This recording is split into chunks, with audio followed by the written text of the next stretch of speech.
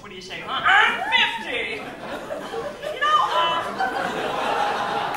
I was, uh, I was to bring my walker tonight, but uh, it just uh, didn't go with the cleavage. You know, what do you say? Huh? I'm 50. Uh, Robert, thank you. I want to thank you tonight for everything, for your Spitfire rapid brain, and for continuing to talk me down off the ledge when I go on and foam at the mouth and say, I'm done with acting, I'm done with acting, I'm really done, I'm really done, I'm done with acting, I'm done with acting, I'm really done. 47 years in the business is a long time.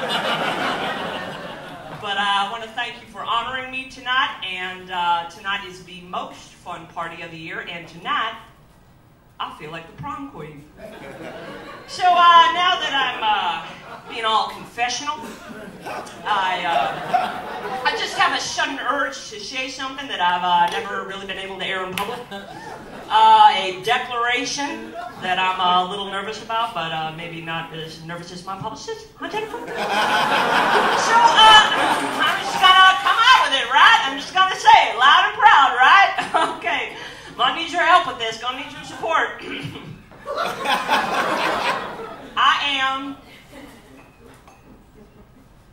single. I am. I am single. No, I mean I'm kidding, but I'm not really kidding. But I'm kind of kidding. But I mean, you know, thank you for the enthusiasm. Can I get a wolf whistle or something?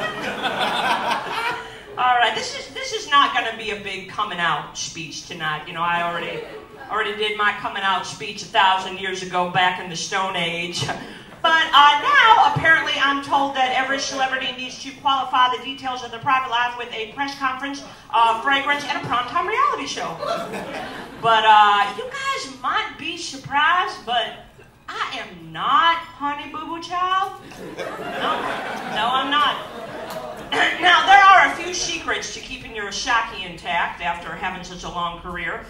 First off, love people and stick by them. Mel Gibson, you know you shaved me too. you know, I can't help but get moody. You know, it, it feels like the uh, the end of one era and the beginning of something else. You know. Oh man, well, I, I never, I never mind, I never will be up on this stage again, or any stage for that matter. Change, you gotta love it. But this time I might be holding a different walking stick. This one might not be as shiny.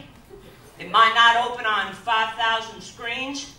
And it might be so gentle and delicate and quiet that only dogs can hear it whistle. but I will continue to make films, to understand and to be understood. But it will be my writing on the wall. Jodie Foster was here. I still am.